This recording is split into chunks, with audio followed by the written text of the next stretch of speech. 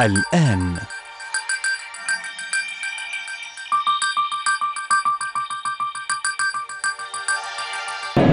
دائما يقولها الآباء الروحيون والمرشدون يقولون الطريق الوسطى خلصت كثيرين. الطريق الوسطى خلصت كثيرين. لأن زي ما بعض العلماء بيقولوا إن الفضيلة هي وسط بين رذيلتين. الفضيلة هي وسط بين رذيلتين بين إفراط وتفريط. ولهذا بيكون الوضع الوسط هو وضع لا ينحرف يمينا ولا يسارا. لأن الشيطان ممكن أن يضرب بضربة يمين وبضربة شمال. ولذلك في أمثال أربعة سبعة وعشرين يقول لا تمل يمنة ولا يسرى لا تمل يمنة ولا يسرى لا تتطرف يمين ولا تتطرف شمال. وبيقول لا تضربك الشمس بالنهار ولا القمر بالليل. برضو لا ضربة يمين ولا ضربة شمال. ويقول يسقط عن يسارك ألوف وعن يمينك ربوات وأما أنت فلا يقتربون إليك. مالكش دعوة بالانحراف لا اليميني ولا اليساري خليك موسطا كده. في ناس كتير جدا بيتعبوا في حياتهم الروحية بسبب التطرف. إما بضمير ضيق يتصور الخطية حيث لا توجد خطية ويدقق تدقيقا يصير تضييقا له في حياته. ويتعب. أو ضمير واسع يبلع كل حاجة. فإحنا عايزين الطريق الوسطى الطريق الوسطى اللي خلصت كثيرين. يعني إحنا بعد شوية داخلين على صوم العذراء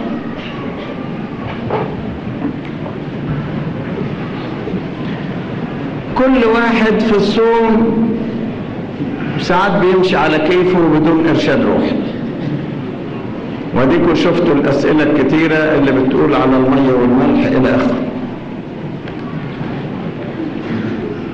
والتضييق الآخر اللي يقول لك حتى الخضروات فيها زيت طب ما تمشي في طريق معتدل وتمشي على قده. ساعات إنسان يتضرب ضربة يمين يحب إن هو يرتفع بسرعة بسرعة بسرعة وبغير حكمة. وبعدين ما يقدرش يستمر. يمشي يمين بسرعة وما يقدرش يستمر. ليه؟ لأنه مشي بغير حكمة. ممكن جدا إنسان يعمل قديس لمدة يوم أو يومين لكن ما يقدرش يكمل.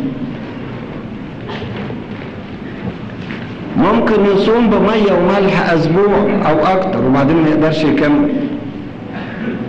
ممكن يفرض على نفسه صيامات لغاية لما تجيله أنيميا أو يحصل له ضعف ويبتدوا يعالجوه والدكاترة يقرروا أنهم يشربوه لبن في الصيام الكبير. أهمية الفضيلة في استمرارها. أهمية الفضيلة في استمرارها. الآباء بيقولوا عمل قليل ومستمر أحسن من عمل كبير ولا يستمر. الطريق الوسطى بيقدر الواحد يستمر فيه لكن المغالاة والتطرف ما بيقدرش عليه على طول بيبتدي يتعب فيما بعد. زي النذور واحد يندر ندر وبعدين ما يقدرش عليه. طب ما كنت تندر ندر بالطريق الوسطى اللي قدك وتقدر تكمله وتمشي بيه على طول. لكن تطرف. واحد في ضيقة وعايز يخرج منه. يا رب أعطيك أعطيك أعطيك. ويفتكر ان ربنا مستقل الحكاية. فيزود لا أديك تاني وأديك تاني وأديك تاني. ويفتكر ربنا إيه؟ مستقل الحكاية. ويزود في نزوره وهو مش قدها. بلاش المغالاة بلاش التطرف امشي على قدك امشي على مهلك. على رأي المثل اللي بيقول امشي على مهلك عشان نوصل بسرعة. لأن جايز واحد يمشي بسرعة وتحصل له حادثة ما يوصلش خالص. فبيقول لك امشي على مهلك عشان إيه؟ نوصل بسرعة. خليك في الطريق الوسطى اللي بتخلص كثيرين. وهكذا في التداريب تيجي إنسان تعبان من أخطاء الكلام. فمش يصلح أخطاء كلامه. يقول أنا قررت الصمت الكامل. إيه الصمت الكامل ده؟ مش هيقدر عليه. هيصمت شوية وبعد كده يتعب من الصمت يبتدي يتكلم. يتكلم إيه؟ يتكلم بنفس الأخطاء لأنه ما عودش نفسه على الطريق الوسطى يعني إما صمت خالص لا إما كلام ملخبط على رأي المثل اللي يقول صمت ظهرا ونطق كفرا. لأنه مش متعود إزاي يتكلم كلام مظبوط. فالتطرف إنه يصمت. أو راهب يحط له زلطة في بقه وإن شال الزلطة بقه هيتكلم الكلام الغلط برضه. ليه؟ لأنه متعودش الطريق الوسطى إن يتكلم كلام مظبوط. بدل ما تفرض على نفسك تدريب شديد زي الصمت قول أنا أعطي نفسي تدريب إني ما أتكلمش كتير. إني لا أتكلم إلا إذا طلب مني وقت أو لا أتكلم إلا للضرورة. إلا إيه؟ للضرورة. يعني إذا كان في ضرورة للكلام يتكلم ويتكلم على قده. أو يدرب نفسه على إنه يترك أخطاء الكلام. يقول إن أنا أتكلم ما اشتمش حد. أتكلم ما أغضبش على حد. ما تنرفزش. ما أغلطش بلساني. تكون ألفاظي بيضاء ونقية. كلام كويس. ده طريق وسطى إن هو لا صمت مطلق ولا كلام غلط وإنما طريق وسطى ده اللي ينفع دي اللي خلصت كثيرين. أو زي راهب أول ما يخش الدير عايز يوصل بسرعة فيفرض على نفسه نظام في الوحدة شديد جدا إنه ما يقابلش حد. وبعدين الناس يقولوا هذا المتوحد اللي ما بيقابلش حد عايزين نكلمه فيبتدي يكلموه فيلاقي قاعد يتكلم مع الناس وبقى مرشد لكثيرين طب فين الوحدة؟ ما فيش الوحدة. هي المسألة مسألة استمرارية. مش إنك أنت تقول أقفل على نفسي وما قابلش حد وتقعد لك كده أسبوعين ثلاثة وبعد كده تكلم كل واحد. وإن ما جاش حد يكلمك أنت تجري وتكلم الناس. الطريق الوسطى خلصت كثيرين الذين تطرفوا يمينا أو شمالا تعبوا من السكة بتاعتهم. خليك ماشي واحدة واحدة. واحدة واحدة. ولذلك الآباء كانوا يأخذون بأيدي أولادهم بالتدريج. واحدة واحدة. يروح يصوم في الدير. عايز يصوم وجاي راهب. يقول أنا أصوم للغروب. يقول له الغروب إيه؟ سيبك من الغروب ده. أنت كفاية عليك للظهر الساعة 12 مش ممكن. ده أنا في العالم كنت بصوم للساعة 3 يقولوا له هي 12 إذا كان عايز يمشي في الطاعة. فيصوم 12 يقول أستمر على كده إيه؟ أهو السنة دي كلها 12 لغاية لما يبقى 12 بالنسبة له بقت لعب. وثبت على كده وتعود إنه ما يفطرش. بعد كده يخلوها واحدة اتنين تلاتة وتتثبت مدة لغاية لما تبقى شيء طبيعي عنده. وبقى لو صام لتلاتة بعد الظهر خفيفة خالص اتعود عليها بالتدريج. لو صام للغروب بقت خفيفة اتعود عليها بالتدريج. لكن يتطرف ويصوم على طول أول ما يخش الغروب يجي بعد كده يجوع ياكل من الفجر. بيحصل عند ناس كده ما تفتكروهاش ده. ده في ناس يقول لك يجي الأربع بالليل ويقول الساعة بقت واحدة يبقى دخلنا يوم الخميس أقدر آكل حاجة فطاري يعني مش قادر. ظابط بطنه على نص الليل. ده معناها إن شهوة الأكل عنده تعبته. تعبته. لأنه لم يسلك في الطريق الوسطى. في تطرف لم يستطع أن يستمر فيه. ساعات هذا التطرف بيكون سببه المجد الباطل عند البعض. المجد الباطل بعض الرهبان يحب يبقى رجل صوم. رجل إيه؟ صوم. مشهور عنه بالصوم. أبونا ده ما يأكلش قبل الغروب أبدا.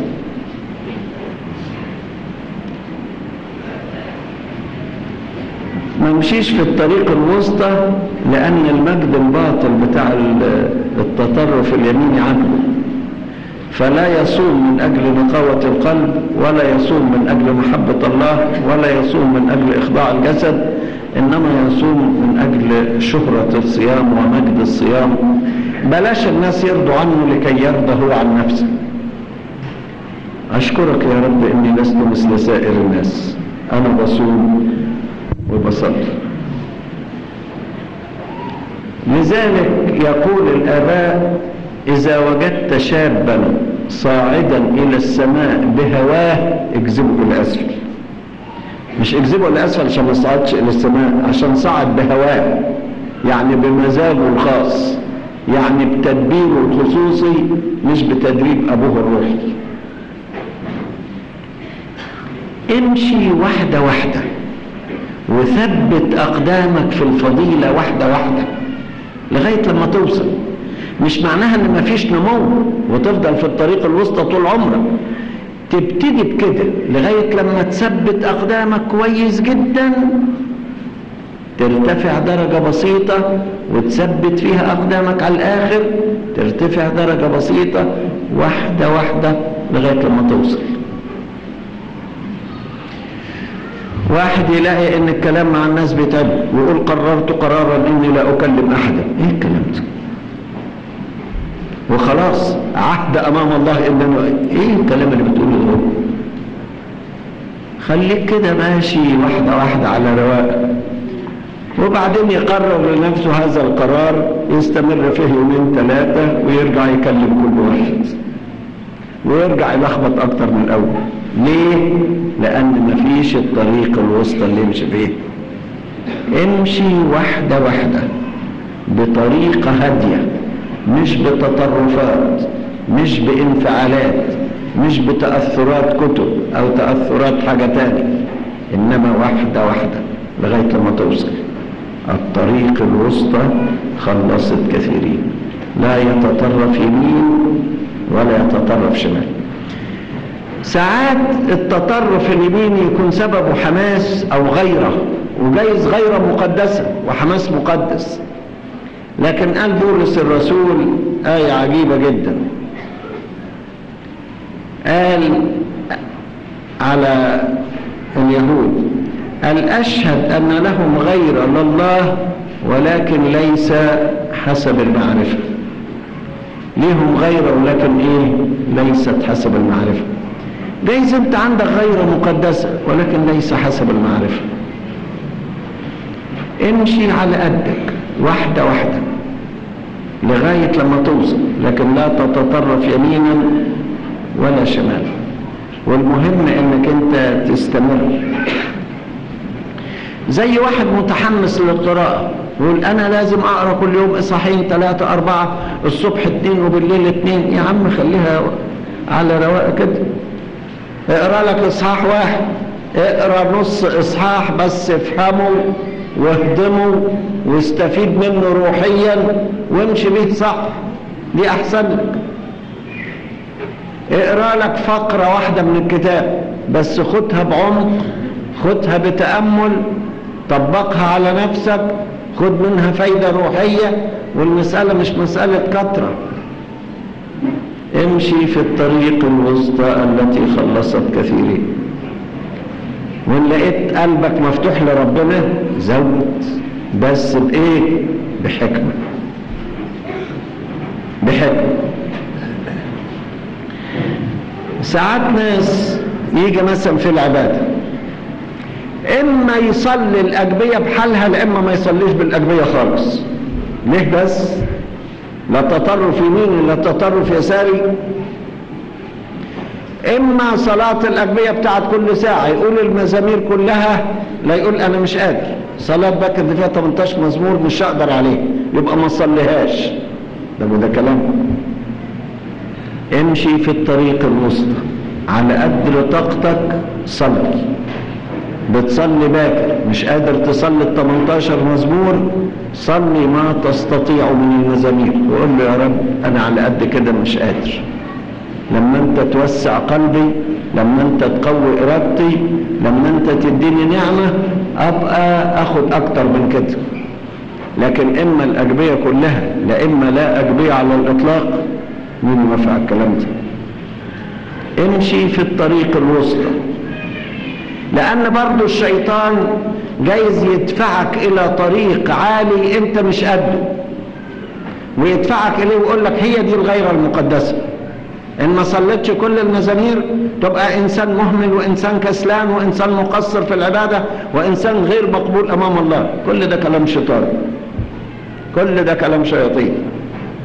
أنت تقول على قدك.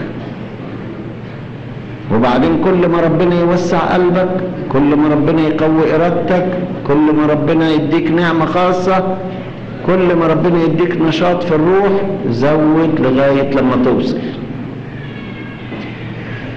أو واحد يقول إما أتناول وأنا في حالة روحية كذا مرتفعة اما ما اتناولش خالص. مين يقول الكلام ده بس؟ برضه تطرف يمين شمال. يعني أنت مش بتتناول لما تصل للقداسة وبعدين تتناول. ده أنت بتتناول عشان المناولة توصلك للقداسة. وهو أنت تقدر تصل للقداسة والنقاوة بدون مناولة؟ قل له يا رب ليس من أجل استحقاقي لكن من أجل علاجي لكن من أجل احتياجي من أجل إن أنا اخد قوة منك. لكن مش تطرف. اما نقاوة كاملة وقداسة كاملة وإلا ما تناولش خالص. قل له أنا تايب يا رب ولكن إرادتي ضعيفة. آه وأنا مؤمن إنك أنت تديني قوة وأعن يا رب ضعف إيماني. أنا مؤمن لكن إيه؟ أعن يا رب. ضعف إيماني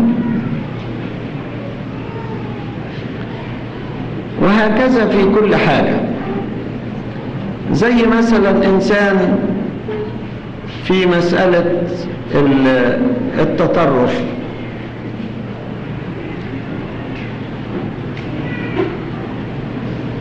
خد مثلا الزينة.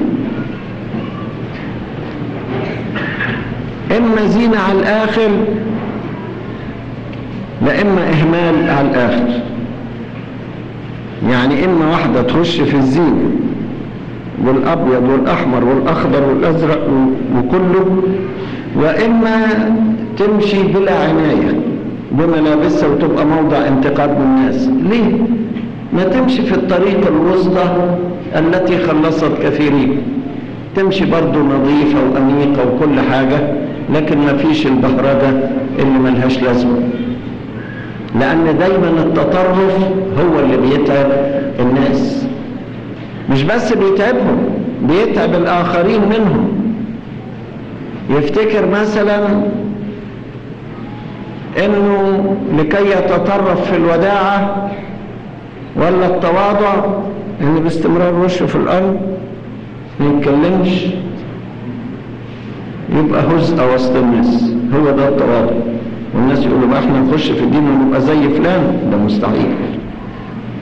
نوع من التطرف. نوع من التطرف بعدم الفهم. ما زي ما بقول لكم في تطرف نتيجة إيه؟ عدم الفهم. لأن الطريق الوسطى هي الحكمة. تطرف بعدم فهم. وبعدين يتعب من التواضع. فيتنرفز ويغضب ويخبط. ليه بس؟ ما تمشي بطريقة هادية. هل ربنا. يريد الناس انهم يبقوا متواضعين وما يكونش عندهم قوة شخصية. هو في ناس ما بيفهموش الدين. ربنا يريدك أن تكون متواضع ويريدك أن تكون قوي الشخصية أيضا وقوي الشخصية إلى أبعد الحدود. اوعى تفتكر التواضع معناها إن الإنسان يكون ضعيف الشخصية. لأن الفضيلة هي تكامل الشخصية. ولأنك أنت في حياة البر بتبقى صورة الله ومثاله.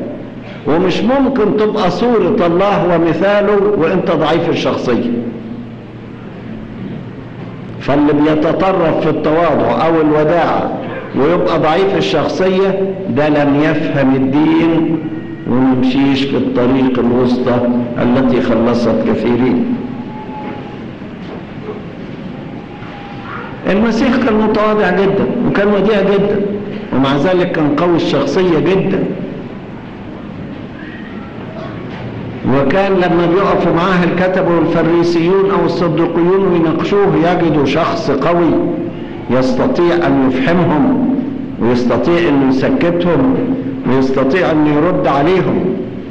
تقول أنا لما سكت الناس ولما أفهم الناس ولما أرد عليهم. دي تبقى ضد التواضع. خليني متواضع وخليني مغلوب باستمرار وتحت الرجلين باستمرار. يبقى ده تطرف في فهم التواضع مش مظبوط. تطرف في فهم التواضع مش مظبوط. إحنا عايزين الناس يبقوا أقوياء في شخصيتهم كما كان المسيح قوي في شخصيته. قوي مش معناها عنيف. قوي مش معناها قوي في الجسد. قوي مش معناها بيضرب الناس. قوي في شخصيته. قوي في روحه.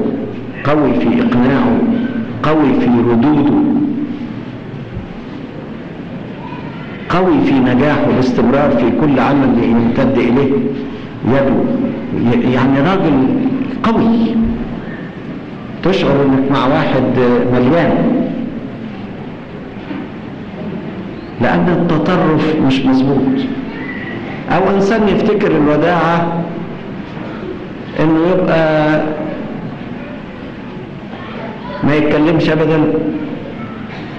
تتحول الوداعة عنده إلى طراوة في الشخصية.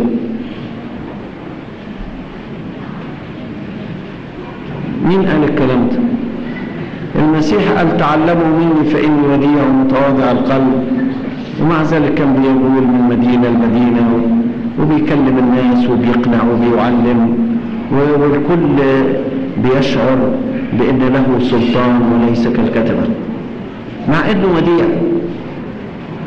لكن فهم الوداعة بطريق خاطئ والتطرف في تطبيقها تطرفا خاطئا هو اللي بيضيع الإنسان. بيخليه شخص مش ماشي مظبوط.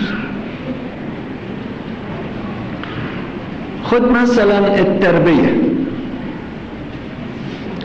التربية الطريق الوسطى هي المظبوطة. لا تدليل يضيع العيل ولا عنف ينفر الابن من أبوه أو من أمه إنما الوضع الوسط. الحنية مع الحزم. الحب المتزن طريق الوسطى. لكن معناها أب يتطرف في الحب أو أم تتطرف في الحب لغاية لما الواد يهيص عليها وما تعرفش تقوده وتيجي تقول تعبانة مع العيال تعبانة تعبانة عشانك ما مشيتيش في الطريق الوسطى. مشيتي في التدليل على الآخر أو العكس بالعنف على الآخر لغاية لما ينفر الواد وعايز ينتقم. لكن الوضع الوسط هو الوضع المظبوط. لا تدليل ولا عنف. إنما حنو حازم أو حزم حنون حاني ده الوضع السليم اللي يمشي فيه الواحد كده ماشي في الطريق الوسطى يعرف إمتى يطبطب وامتى يقول لا لحد كده كفاية. العين اللي ممكن تسيل حنوا والعين اللي ممكن تبقى شديدة لأن آه لكل شيء تحت السماوات وقت. للشدة وقت وللطيبة وقت. تكون شدة مملوءه بالطيبة أو طيبة فيها حزم وفيها شخصية. لكن الحكاية كده تبقى تطرف يميني أو شمالي؟ لا. لازم الإنسان يعرف إن الطريق الوسطى معناها الفضائل التي تبدو متضادة تمتزج مع بعض وتكون كلا منسجما قويا. أو مثلا نيجي في خطية زي الادانه إما واحد يدين على الآخر ويقول فلان ده غلطان وده غلطان وده غلطان ده تطرف برضه وإما واحد يقول لا لا لا لا, أنا ما أدينش أبدا. ويوصل به الأمر للتطرف في عدم الإدانة إنه يدافع عن المخطئين بطريقة تنرفز السامعين فيشتموا فيهم أزيد. قول لا لا لا لا دول مساكين دول غصبانين دول ما يقصدوش. يا أخي خليك امشي عدل الطريق الوسطى خلصت كثيرين. الكتاب بيقول إيه؟ مبرئ المذنب ومذنب البريء. كلاهما مكرها للرب. وقال مبرئ المذنب قبل ما يقول مذنب البريء.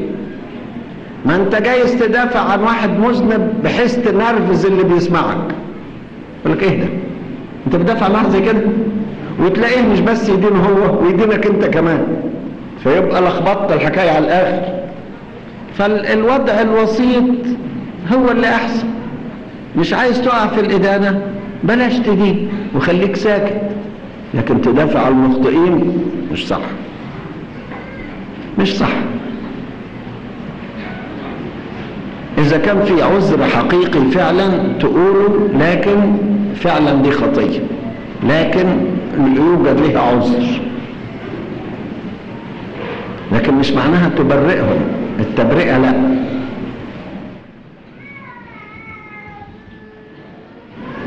من أجل كل هذا وجد المرشد وفائدة المرشد إن الإنسان يتعلم إيه الطريق الصح ولا يتطرف يمينا ولا يسارا. شوفوا في سفر الجامعة إصحاح سبعة بيقول إيه؟ بيقول لا تكن بارا كثيرا ولا تكن حكيما بزيادة لماذا تخرب نفسك؟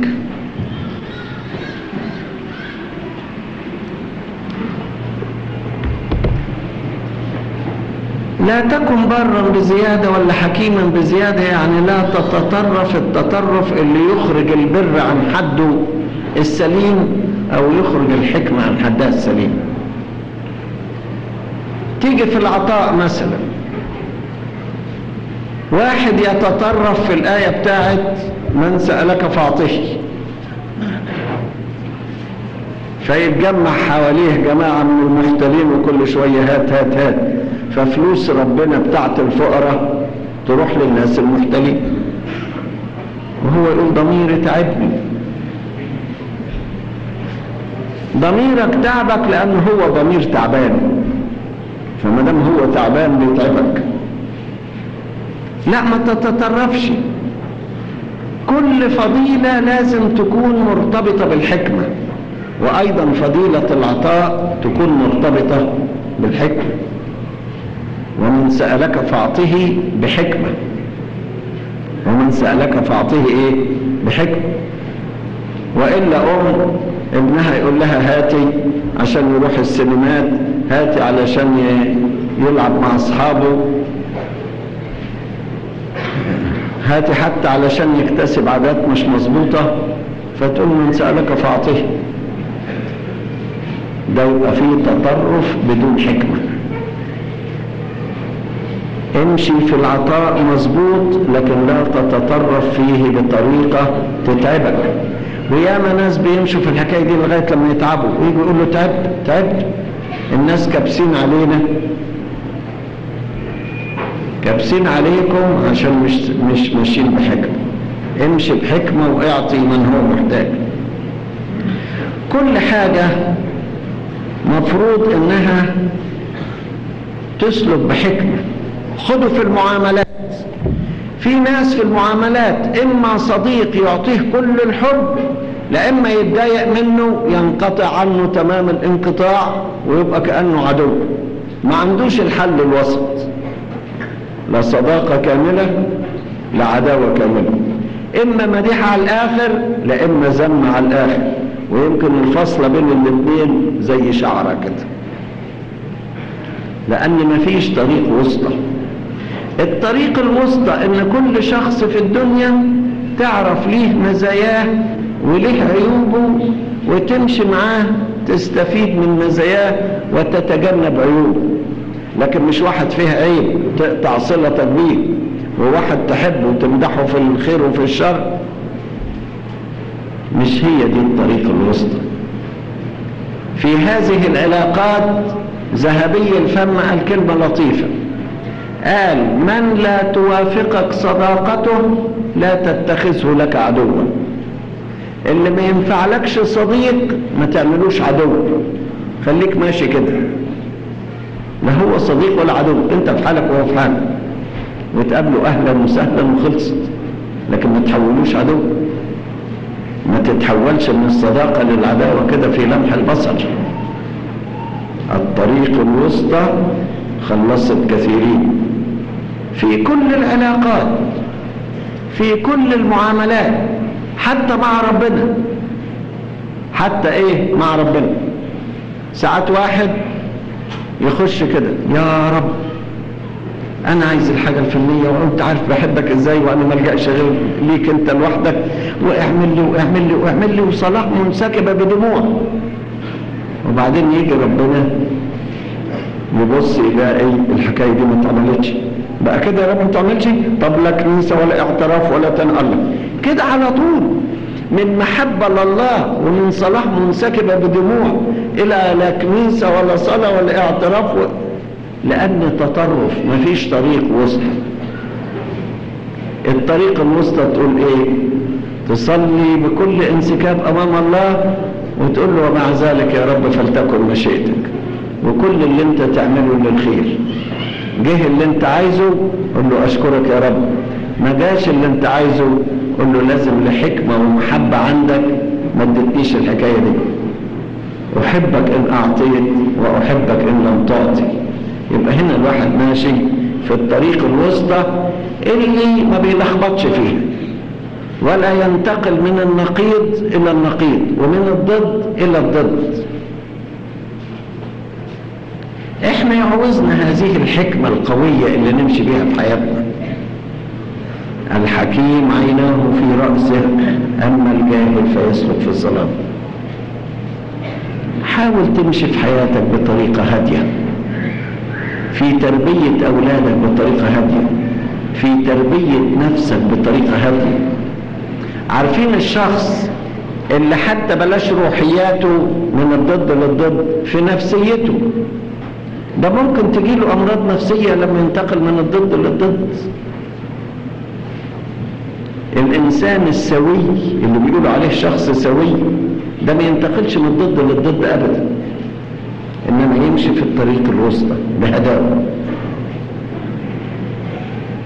ولا يغير علاقاته بسرعة بهداوة.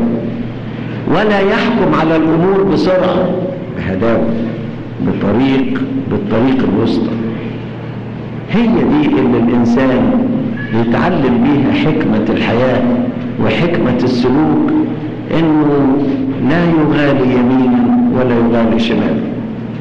وتأكدوا أن الإنسان اللي يغالي ناحية اليمين ممكن يغالي أيضا ناحية الشمال.